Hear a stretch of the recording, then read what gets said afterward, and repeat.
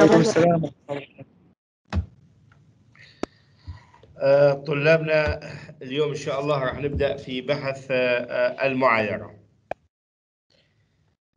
طبعا المعايرة كلمة معايرة من عيار. أحيانا نحن نقول مثلا دواء معين عيار كذا. فالعيار أو التركيز عيار مادي أو تركيز مادي هو عدد مولات هذه المادة في اللتر أو عدد غرامات هذه المادة في اللتر. فالمعايرة بمعنى هي إيجاد عيار مادي أو تركيز مادي.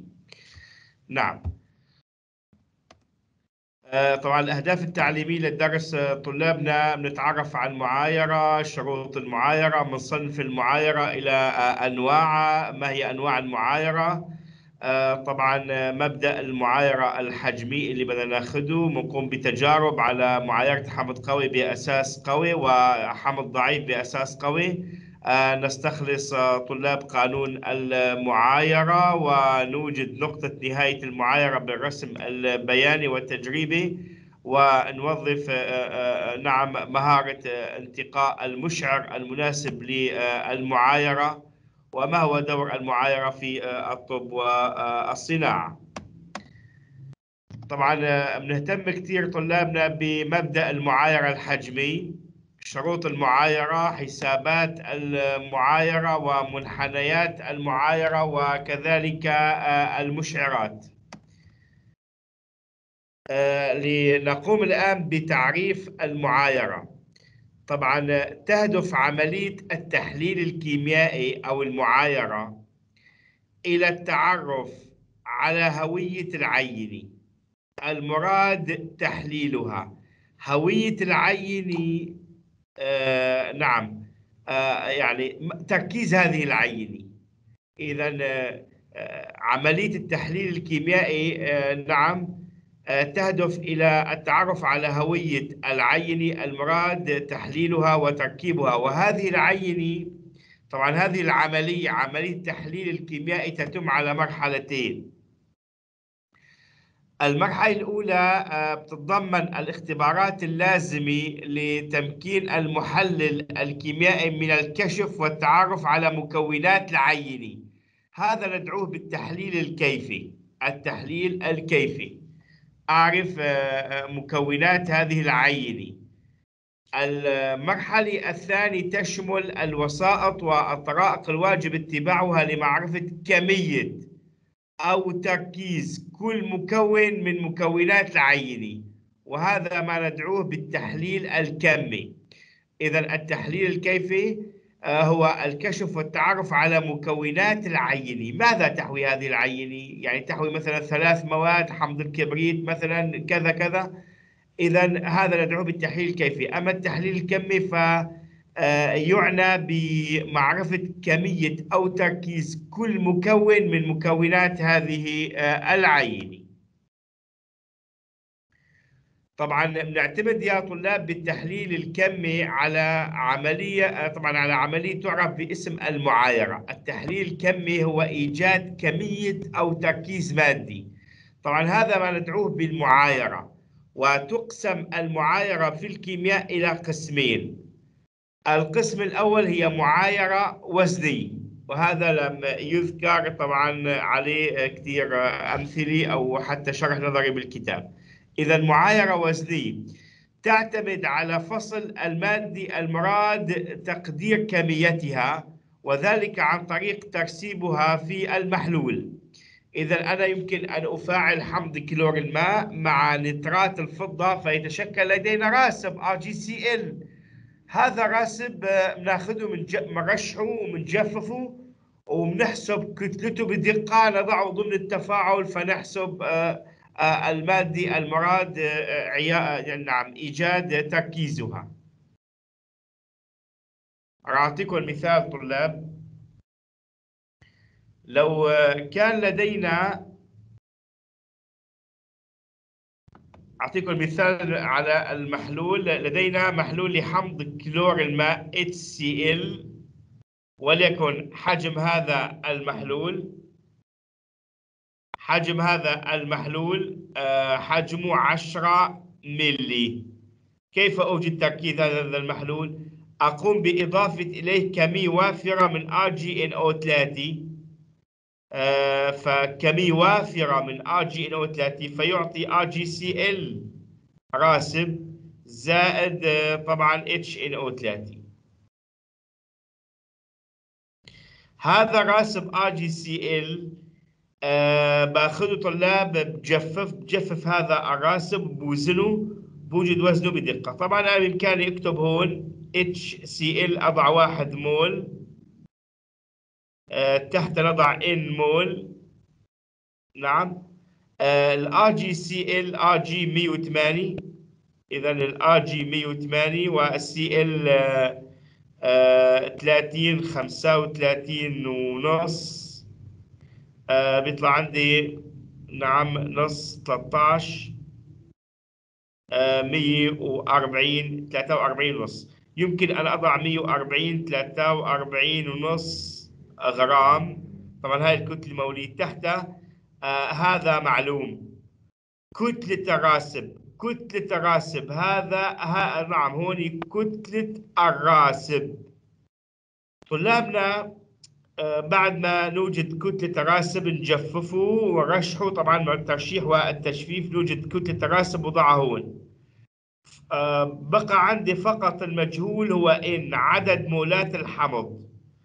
أنا إذا حسبت عدد مولات الحمض وعندي حجمه فبحسب تركيزه هو إن على ذي إذا آه، مثلا إذا كان لدينا محلول لحمض كلور الماء حجمه 10 ملي 10 ملي أي آه، نعم أنا بإمكاني بسهولة عن طريق المعايرة الوزنية أوجد تركيزه.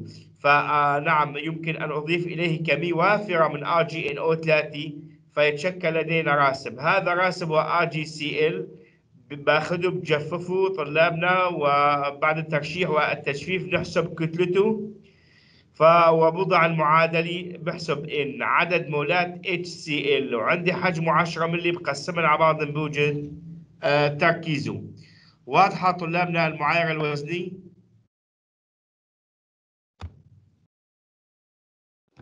نعم أستاذ واضح. إذا آه، طبعا بالمعايرة الوزنية هي إيجاد آه، بيطلع عندي راسب باخده بجففه برشحه بجففه وبحسب وزنه بضعه ضمن المعادلة. فبيكون عندي آه، مجهول هو آه، إن عدد المولات عدد مولات الحمض مثلا أو الماده اللي بدي أوجد عيارة عندي حجمها حسبت عدد مولاتها بإمكاني احسب تركيزها الآن. ننتقل إلى النوع الآخر من المعايرة هي المعايرة الحجمية. طبعا بتعتمد المعايرة الحجمية على إضافة حجوم. في المعايرة الحجمية لا يتشكل لدينا رواسب يا طلاب. تعتمد على تعيين التركيز المولي لمادة A وذلك بإجراء تفاعل بين حجم معلوم مع آه، محلول مجهول التركيز. من هذه المادة مع حجم آه، آه، معلوم من محلول آخر معلوم التركيز من مادة B إذا نأخذ لدينا طلابنا بالحجوم. لدينا المادة A حجم هذه المادة A حجم في واحد معلوم. نعم لكن تركيزها سي واحد مجهول. بروح بفعلها مع مادة B. في 2 معلوم حجمها معلوم المادة B وتركيزها معلوم. نعم. إذا عن طريق هذا التفاعل يمكن أن أوجد تركيز المادي A المجهولي. طبعا تعريف المعايرة هي إيجاد تركيز مادي ما عن وذلك عن طريق تفاعلها مع مادة أخرى معلومة الكمية أو معلومة التركيز.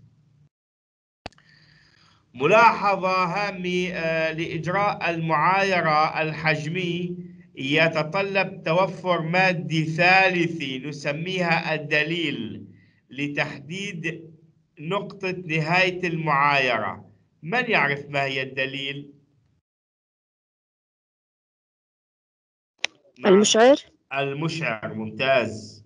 لذلك آه، لكي نقوم بإجراء أي معايرة يجب أن يكون هناك آه، مادي نقول لها مشعر هي الذي آه، طبعا دليل لمعرفة تغير لون آه، المحلول أو لون الوسط وبالتالي آه، نحدد نقطة نهاية المعايرة. طبعا آه، شروط تفاعل المعايرة شروط تفاعل المعايرة لكي أنا عندي مادي تركيزه مجهول. بدي أروح فاعلها مع مادي ثاني تركيزه معلوم. عن طريق هذا التفاعل بدي أوجد تركيز هذه المادي طيب أنا ما بختار أي مادي يجب يجب أن يكون هناك شروط لتفاعل المعايرة. أولا أن يكون التفاعل تام. فطلابنا ضمن أجواء مسألة المعايرة ما عندنا تفاعل عكوس. إطلاقا أن يكون التفاعل تام. اثنين أن يكون سريع. التفاعل سريع. يعني أنا إذا بدي عاير مادي بدي مثلا أوضع أوضع مثلا مثلا حمض إلى أساس بيعطيني مباشرة ملح إلى زائد ماء. ملح زائد ماء. يعني ما بدي أصبر أسبوع أو شهر ليتم التفاعل. إذا آه، من شروط تفاعل المعايرة أن يكون التفاعل تام اثنين أن يكون آه، تفاعل المعايرة سريع. آه، ثالثا أن يمثل تفاعل المعايرة بمعادلة كيميائي موزوني. رابعا أن يكون تفاعل المعايرة تفاعلا بسيطا لا يرافق يعني يعني لا يترافق بأي آه، تفاعلات ثانوي. طبعا أي تفاعلات أو نواتج ثانوي يمكن أن تؤثر على نتائج وقيم نتائج المعايرة. إذا أعيد أن يكون التفاعل تام أن يكون سريع أن يكتب تفاعل معايرة بمعادلة موزوني. آه، ثلاثة آه، أن لا توجد نواتج أو تفاعلات ثانوي تؤثر على نتائج المعايرة. أربعة آه، أن يكون هناك آه، طريقة لتحديد آه، نقطة نهاية المعايرة طبعا من خلال آه، المشعرات. إذا أن يتوافر مشعر مناسب يمكن من خلاله تحديد نقطة نهاية المعايرة.